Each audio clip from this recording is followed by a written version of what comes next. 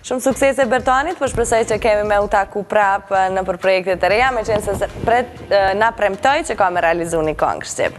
Nge, shumë muzikë edhe shumë prurje të reja, andaj nuk kemi se si mos me bo intervistë, bëhet fjalë për DJ-in francez, apo është i përzier, maroken francez, por që është një nga DJ-t më të mirë të muzikës hip-hop, Kishim fatin me e pas në kryeqytet gjatë këtij vikendi dhe ishim në një intervistë ekskluzive për një kafe prej shpisë, Cut Killer dhe po ashtu menaxhmenti i Zone Club.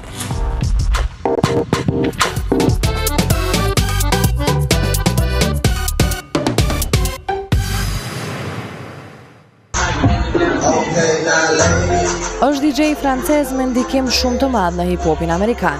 DJ Cut Killer, ai i cili erdi në Prishtinë për herën e tretë.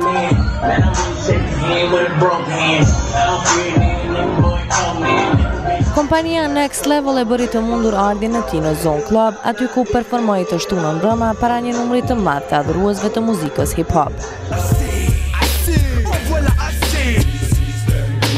Për të gjithë ju që nuk e njihni sa duhet, Cut Killer gëzon famë ndërkombëtare në Shtetet e Bashkuara përmes ftesave nga DJ-t e 50 Cent, Big Dog Pitbulls në Funkmaster Flex dhe Shadyville.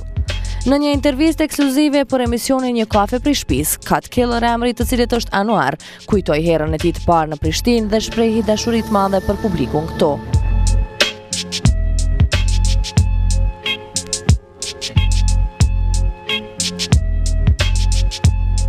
Uh,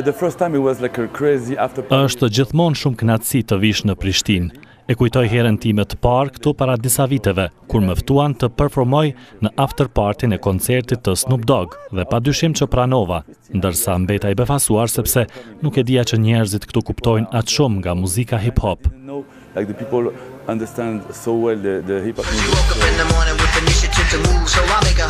Në këtë herë të tretë, performanca e DJ-it të famshëm zgjati deri në orët e para të mëngjesit, ku kishte përzgjedhur me mjaft përpikshmëri setet që do luante.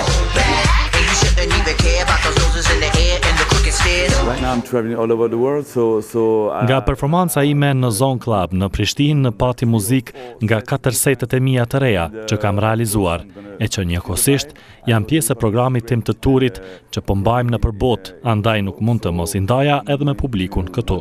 Direction like to understand the the the crowd so put like some old school stuff.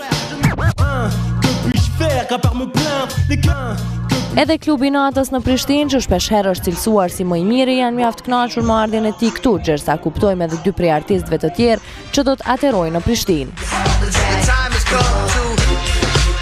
Propozimi ka ardhur para disa muajve, ka qenë, mirëpo E kena pas ni problem për arsye se nuk e ka pas letërnjoftimin biometrik edhe e patëm kthy në aeroportin e Prishtinës. Ka qenë pak nifar lloj moskoordinimi i mirë i joni me menaxhmentin e Cut Killer për atë arsye na met pikë kështu edhe prej eventit të kalum se ka qenë tepër performim i mirë edhe vendosëm që me kthy prap në këtë kohë që është as verë, as dimër, as vjeshtë, as borë, as kurrë, e është shumë një kohë të cilën njerëzit e dojnë, pak se kanë filluar rrezet e para të diellit dhe fillon energjia e madhe, për ato e kthym e e lamë në këtë kohë me marr. Këtë herë kemi vendosur me njëzet e një prill me pas mbylljen e sezonit dimëror në Winter Zone. Jemi shumë të kënaqur edhe po presim që edhe eventat e mrramtë kanë me qenë tepër të mirë. për arsye se i kena dy eventa bombastik me thonë, të cilët ata njerëz, klienta të cilët e dojnë muzikën elektronike, me njëzet e një prill e kanë shumë një event të mirë, për herë të parë po e foli te ju, është Art Department dhe Mirko Loko që është një super event, po ashtu edhe një javë para asaj, domethënë që i vjen e premte, katërmbëdhjetë prill, është për adhuruesit e muzikës house, është Black Coffee, i cili është shumë DJ i famshëm dhe tepër interesant.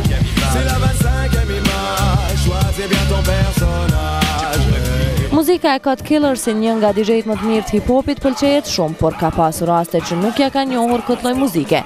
Andaj, këtë e cilëson si ndejën më të çuditshme që ka qenë i ftuar.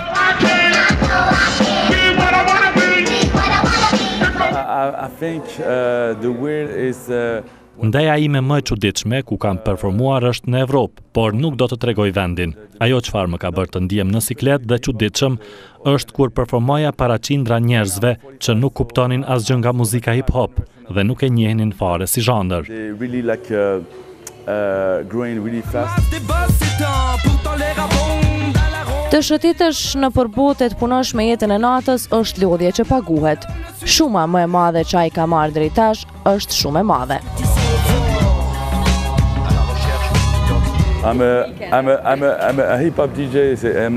Unë jam DJ i muzikës hip-hop dhe nuk është se jam paguar shumë, por shuma më e madhe ka qenë 75.000 dolarë. por njoh disa miq të mi që janë DJ të muzikës elektronike dhe kanë marrë shuma marramense.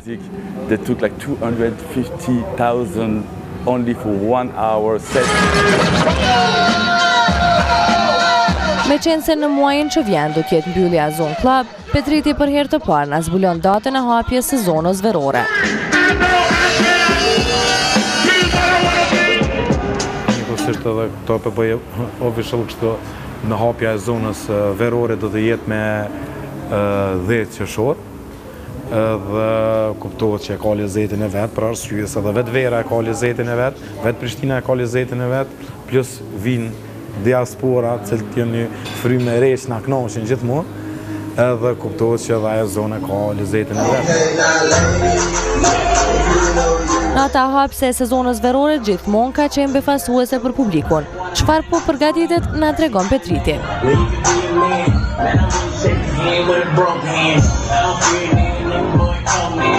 Jena pak qefi dysh për arsye se është hapja edhe njerëzit dojnë me ardhë me pa venin Edhe mos me dit te flajeri çka ka me pas, çka ka me performu, mirëpo në të njëjtën kohë na ja dhojna një farë shije, e qesim një farë qërshije mbi këtë këtë tortë, edhe atë qërshi e lojna gjithë sekrete, por herat e kalume dini ka qenë njëherë Nexhmije Pagarusha e madhja, njëherë Sabri Fejzullahu i madhi, edhe këtë herë ka me qenë shumë interesant edhe, edhe na veç jena tu e përgatitë, saktë hala nuk e kena për arsye se jena tu e hulumtu pak a shumë çka ma ma detajisht me marrë, mirëpo kena bo do oferta ndaj disa persona për me kqyr çka ka me qenë, mirëpo kuptohet që duhet me kon gatshëm për një surprizë të mirë.